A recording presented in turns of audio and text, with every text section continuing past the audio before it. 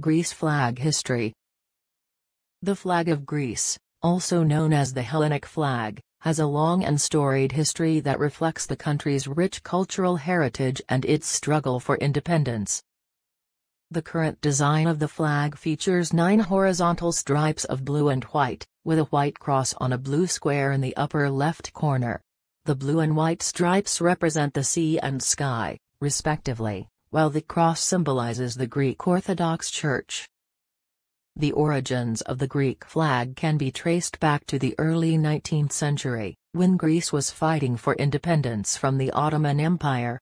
In 1822, a group of Greek revolutionaries led by Alexandros Ypsilantis created a flag with a white cross on a blue field, which became known as the War of Independence flag. Over time, the design of the flag evolved, with additional stripes being added to represent the various regions of Greece.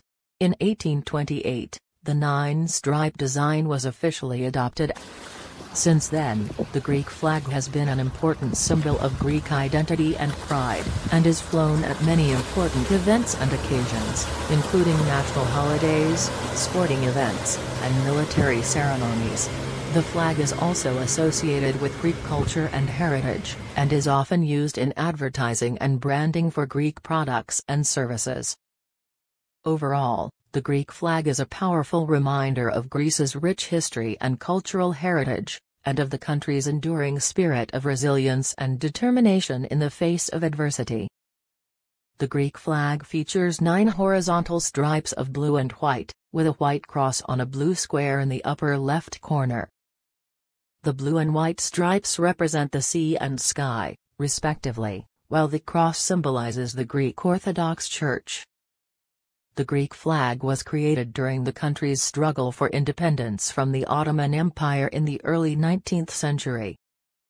The War of Independence flag featured a white cross on a blue field, and was later modified to include additional stripes representing the various regions of Greece. The nine-stripe design was officially adopted as the national flag of Greece in 1828. The Greek flag is an important symbol of Greek identity and pride. It is flown at many important events and occasions, including national holidays, sporting events, and military ceremonies. The flag is associated with Greek culture and heritage. It is often used in advertising and branding for Greek products and services.